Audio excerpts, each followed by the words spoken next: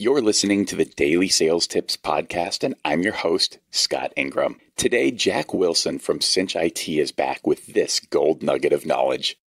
If you're listening to this, then it probably means you're open to the idea that you can be better. In the same breath, it means that you admit you're not perfect. Have you told your manager that? Do you have the personal courage and self awareness to allow yourself to be vulnerable? You should. Recently, I've been mentoring a close friend of mine who's had a long and winding journey of a sales career. Unfortunately for this friend, that journey has had a reoccurring theme. He'd started a new challenging role, play the new guy game, then hit the field feeling like he was good enough to make things happen. He saw some early results, but then, usually around a year in, his numbers would dip.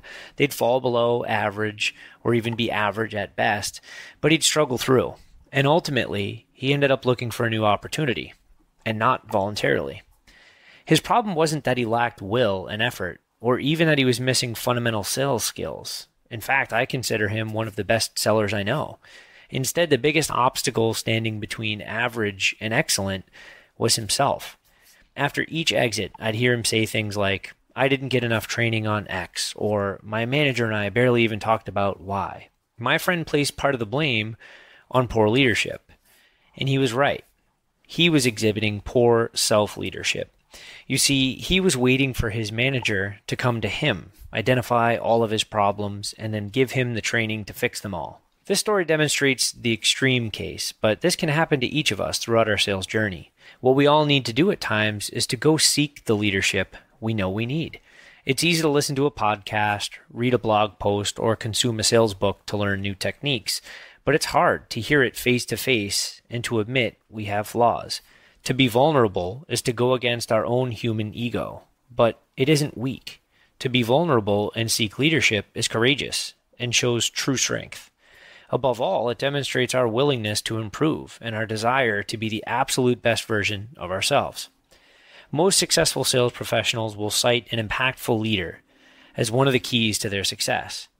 But this isn't always the case. So, what do you do when you find yourself feeling like you need more? More training, more guidance, or just more reinforcement of your efforts. If you're not getting it from your leader, don't place blame and sit around hoping that it'll change. Instead, manage up. Do the work of being self aware. Be brutally honest with yourself about the areas you need to improve the most, and then respectfully take over your next one to one and proactively seek what you need. Not all leaders are created equal. But just like a career as an individual contributor, they're consistently evolving. Expressing your own vulnerability opens the door for them to reciprocate. It might sound like it, but this tip isn't just helpful for those of you who might be facing challenges. Top performers often suffer the same fate. Once we achieve at the highest levels, it's easy to become complacent. Even though we're always looking to improve our skill sets, we sometimes grow apart from seeking leadership because we think we can go it alone. My challenge for you today is twofold. First, develop a process to become more self aware. Personally, I take 15 minutes every Friday to reflect on my week, and I write down a few key areas where I know I could have done better.